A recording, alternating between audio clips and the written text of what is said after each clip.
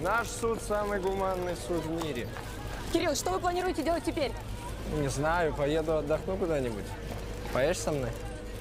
Но для начала я подам иск на городскую полицию. Майор Гром крайне грубо проводил задержание. У меня даже остались синяки на руках. Посмотрите. Это настоящий полицейский. Тихо, тихо, тихо, тихо. Вместо него в тюрьму захотел. Что тебе еще рассказать, а? Угомонись.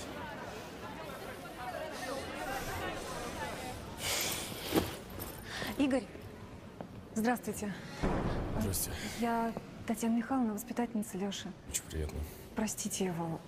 Такое горе. Это я все понимаю. Вот, звоните, если будут проблемы. Спасибо. Простите, а можете э, номер записать или сфотографировать? У меня второй нет.